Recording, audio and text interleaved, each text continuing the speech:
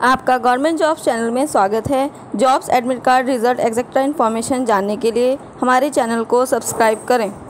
हाय students, मैं आपको C M D Kerala, staff nurse recruitment 2021 last date apply for 1603 post के लिए आप कैसे अप्लाई करेंगे, इसकी सारी जानकारी वीडियो में दूँगी। जानकारी के लिए मैं आपको वेबसाइट पे लेके चलती हूँ गायत्री जॉब्स डॉट कॉम पर स्टूडेंट्स, जो C M D Kerala staff nurse recruitment है, वो organisation the centre of management development with national health mission Kerala के द्वारा रिलीज़ की गई हैं। आप सब 1603 वैकेंस, वैकेंसीज़ के लिए अप्लाई कर सकते हैं। मैं आपको बता दूँ mid level service provider staff nurse की पोस्ट है 1603 पोस्ट है। क्वालिफिकेशन, एक्सपीरियंस और इंटरव्यू पे ही सिलेक्शन प्रोसेस है। मैक्सिमम 40 इयर्स एज है।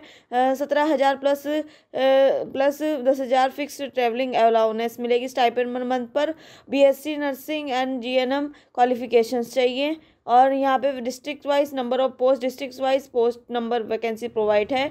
और एज लिमिटेशन मैंने बता दिया आपको क्वालिफिकेशन भी बता दी है। सिलेक्शन मोड भी बता दिया कि finder will be complete on the basis qualification experience and personal interview पे है। सैलरी भी मैंने आपको बता दी है। एप्लीकेशन फ़ी तीन सौ पच्चीस रुपये है और credit card debit card net banking से आप दे सकते हैं। और पच्चीस दिसंबर से फॉर्म स्टार्ट हो गए हैं, आठ जनवरी लास्ट डेट है। अप्लाई करने के लिए एडवर्टाइजमेंट पीडीएफ को ओपन कर लीजिए। इंग्लिश में इस पीडीएफ पीडीएफ में ये इंग्लिश में सारी प्रोवाइड है। इसमें सारी आपको जानकारी मिल जाएगी। और ये यहाँ पर रजिस्ट्रेशन का लिंक है। यहाँ रजिस्ट्रेशन आईडी सैंपल डाल के डेट ऑफ़ बर्थ डाल के मोबाइल नंबर डाल के लॉगिन करेंगे आप। इसके साथ साथ आप वीडियो को लाइक कीजिए शेयर कीजिए और चैनल को